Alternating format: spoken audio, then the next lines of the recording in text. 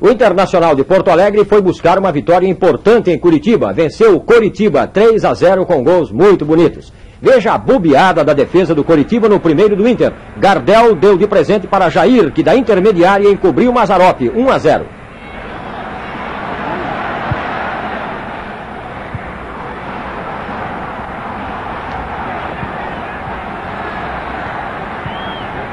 No segundo, Jair cobrou uma falta da intermediária, mas saiu uma bomba e Mazarop não pôde fazer nada. Bola no ângulo.